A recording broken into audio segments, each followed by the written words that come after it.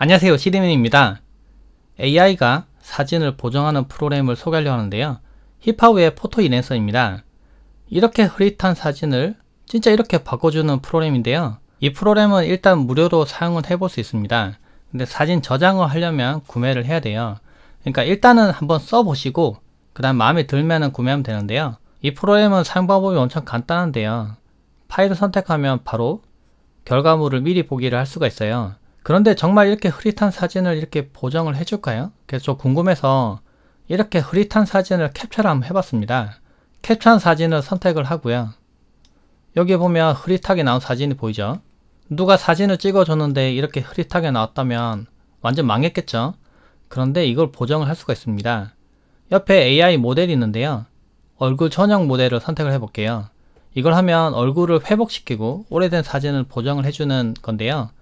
이걸 선택을 하고 미리 보기를 누르면은 분석을 통해서 이미지를 개선을 시킵니다. 결과물을 보면 놀라운데요. 왼쪽이 원본이에요. 흐릿한 사진을 제가 캡처해서 넣었는데 이걸 오른쪽처럼 이렇게 바꿔버린 겁니다. 오른쪽이 원본이고 왼쪽이 제가 뿌옇게 만들었다면 이해가 되는데 왼쪽을 이렇게 오른쪽으로 바꿔버린 거예요. 인공지능이 이렇게 사진을 보고 판단해서 눈도 그려 놓고요. 요, 요런 눈이면 맞겠다 해서 이렇게 놓고 눈썹도 그리고 치아도 없었는데 치아도 만들어 놓고요. 그리고 이 아랫부분에 지금 이 부분도 그 흐릿해서 다 내용이 없는데 이거를 다 머리카락까지 다 만들어 놓은 거예요. 이 사진은 제가 아주 옛날에 찍었던 사진인데요. 여기 보면은 좀 사진이 흔들린 부분도 있고요. 노이즈도 보이고 여기 보면 눈도 선명하게 안 보이죠. 그런데 이것도 개선을 할 수가 있습니다. 얼굴 전용 모델로 선택하고 미리 보기를 해볼게요. 왼쪽이 원본이고 오른쪽이 지금 개선한 이미지인데요. 여기 보면은 다르죠. 피부톤 부분도 지금 더 깨끗해졌고요. 노이즈도 없어졌고 눈매랑 이렇게 눈이랑 여기 새로 그린 게 보입니다. 눈의 각도랑 얼굴 각도가 달라도 보면 눈 모양을 만들어서 이렇게 예측을 해서 그려 넣습니다. 이거 완전 다르죠? 왼쪽이 원본이고 오른쪽 개선한 거예요. 차이가 어마무시하게 납니다. 자, 여기도 마찬가지고 네, 여기도 마찬가지고요. 여기도 노이즈도 다 없어지고 막 사람을 완전히 새로 그려놔서 이상하게 바꿔놓는 게 아니라 최대한 원본 이미지를 판단을 해서 이미지를 개선합니다. 보면은 완전히 여기 보면 약간 이렇게 좀 티 나는 부분이 있는데요. 그래도 왼쪽보다는 오른쪽이 훨씬 더 낫죠. 선명하고 실제로 이미지를 볼땐 이렇게 볼 텐데요. 그래서 이미지를 내보내서 보면 차이가 엄청나게 많이 나요. 이건 그래도 조금 좋은 카메라 찍었던 사진인데요. 지금 보면은 이것도 완전 달라집니다. 왼쪽이 원본이고 오른쪽이 개선된 이미지인데요. 피부톤도 훨씬 더 좋아졌고요. 눈썹도 새로 그립니다. 눈매도 새로 그리고요. 입술도 그렇고 색깔도 조금 변했죠. 머리카락도 더 선명해졌고요. 여기도 보면 눈썹도 새로 그리고 여기 보면은 더 깨끗해진 걸 볼 수 있습니다. 어떻게 얼핏 보면은 오른쪽이 원본 같고 왼쪽이 이미지가 조금 망가진 것 같은데 그 정도로 이미지를 깨끗하게 보존합니다. 그림 같은 경우에는 noise canceling을 이용할 수 있는데요. noise canceling은 이미지를 노이즈를 없애는 부분도 있지만은 애니메이션 캐릭터가 더 선명해지는 효과도 있습니다. 왼쪽이 원본이고 오른쪽이 개선된 이미지인데요. 여기 보면 차이가 엄청나게 많이 나죠. 이미지를 새로 그렸다고 해도 될 정도로 선명해집니다. 여기 글자도 엄청 선명해지고요. 여기 보면 테두리, 선, 그리고 색깔, 노이즈 같은 부분도 다 사라지고 새로 그린 것처럼 깨끗해집니다. 얼핏 봐도 차이가 엄청나게 많이 나요.